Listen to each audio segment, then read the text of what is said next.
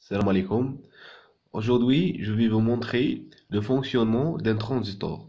Tout d'abord, je vais parler, euh, je vais vous donner un exemple de l'électricité. Pour, euh, pour comprendre le fonctionnement d'un transistor, il faut tout d'abord comprendre comment ça marche, l'électricité. Par exemple, on a une euh, batterie. Ici le moins et ici le plus. Par exemple, on va alimenter une lampe.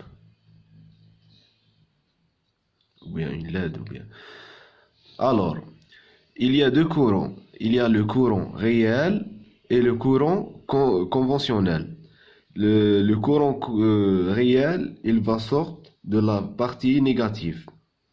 C'est ça le courant réel, c'est-à-dire les, électrons. C'est un déplacement des électrons de, la partie négative à la partie positive. Et le courant conventionnel, c'est ça, le courant qui va sortir de la partie positive vers la partie négative. Donc, pour, euh, pour bien comprendre, je vais vous donner un exemple. Par exemple, on a un tuyau, un tuyau d'eau. Ici, il y a une pompe. Et dans le tuyau, il y a l'eau, bien sûr.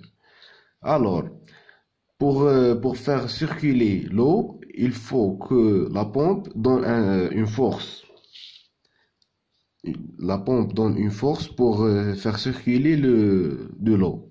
Alors, l'eau, c'est le courant. La pompe, c'est la tension, c'est la force électromotrice. Et le tuyau, c'est le, les fils de connexion. Donc, pour faire circuler le courant ou bien les électrons, il faut, donner une euh, force électromotrice. Cette force électromotrice, c'est le, c'est la tension U. Donc, maintenant, on va parler de, de transistors. Il y a deux types de transistors. Il y a le PNP et il y a le NPN.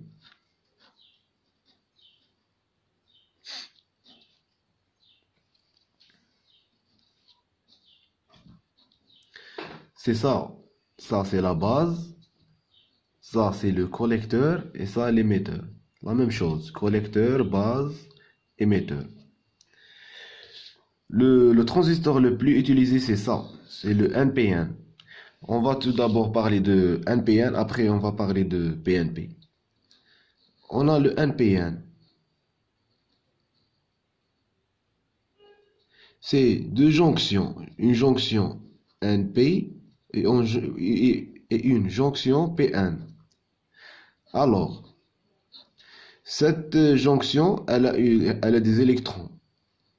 Ici, des électrons. Et P, pour les protons, c'est des, des trous, des charges positives. Alors, lorsque on veut faire fonctionner ce transistor, il faut donner ici une tension positive, bien sûr. Une tension positive, V, V+, par exemple. Qu'est-ce que veut dire ça? C'est c'est- la même chose de ça, la partie négative et la partie positive. Donc, nous allons donner des, des charges positives à la partie P pour avoir une jonction P- PN positive et négative. Alors, le courant réel va, va se déplacer de la partie négative à la partie positive et le courant conventionnel qu'on euh, peut nous utiliser dans les circuits, c'est ça, ici. Alors, on va avoir un courant qui sort de l'émetteur. Ici, par exemple. Donc, si on a ce transistor dans un circuit, par exemple comme ça, VCC, et l'émetteur, et il y a maintenant la base. Si on donne une tension positive à la base, le transistor va se saturer. c'est la même chose que j'ai parlé ici. Il y, a, il y a des charges négatives et il y a des charges négatives ici. Si on le donne des charges positives dans la base, alors il y a une jonction Pn.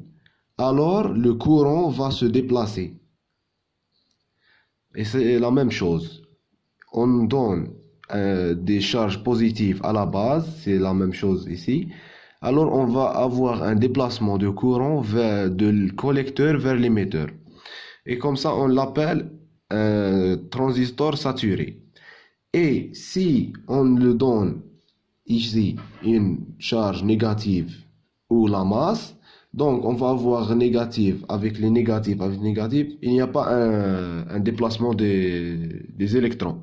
Alors on dit c'est un transistor bloqué. La même chose pour euh, le transistor PNP. On a ici P, P, N. Il y a ici, il y a des trous. C'est des charges positives. Et ici, on a des charges négatives.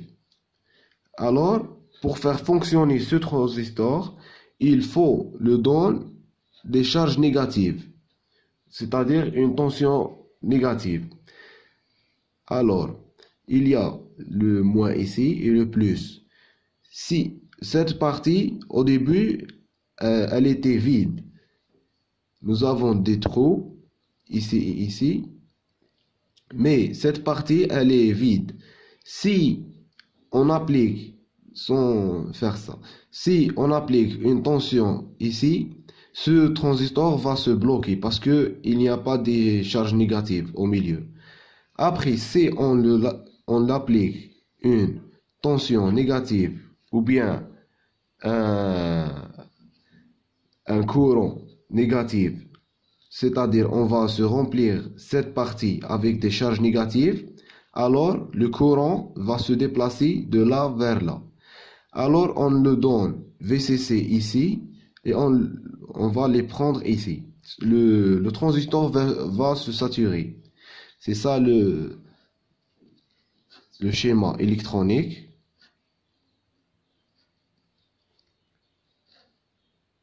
VCC. Ici, on va le donner comme ça. Et le courant va se entrer à, l'émetteur. Ici, il sort de l'émetteur. Et ici, il entre de de l'émetteur. Si on veut faire une application, je vais vous donner un exemple. Par exemple, euh, deux transistors en commutation, en régime saturé bloqué. Donc, c'est ça le schéma électronique. On a le premier transistor. Je vais utiliser des transistors NPN. Alors, on a ici le premier transistor et ici le deuxième. On va appliquer VCC ici. Euh, ici, on va faire une à la masse. À la masse.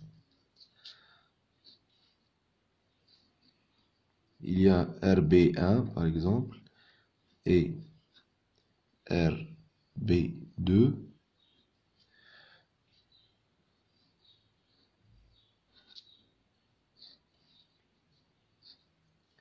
Ici, on va appliquer le, on va faire un switch. Donc, si il y a, le NPN, c'est le premier transistor et le deuxième. On a dit que si on le donne une tension positive à la base, ce transistor va se bloquer. C'est-à-dire, la tension VCC va se le courant IC va aller à l'émetteur et à la masse. Donc, ce point, euh, on va avoir ici 0 volts. Cette 0 volts va aller au deuxième transistor, à la base du deuxième transistor, c'est-à-dire ce transistor va se bloquer. Alors, si on le donne ici 0 volts, ici on récupère 1, 1 c'est-à-dire VCC, 1 logique. Après, cet 1 va se saturer le deuxième euh, transistor, alors ici on va avoir 0 volts. Et si on le donne 1 volt ici, ici on va avoir 0 logique et 0 volt. Cette 0 va se bloquer ce transistor et ici on va avoir VCC. C'est ça notre exemple et c'est ça notre vidéo. Bon, aujourd'hui, on va aller. Salam alaikum.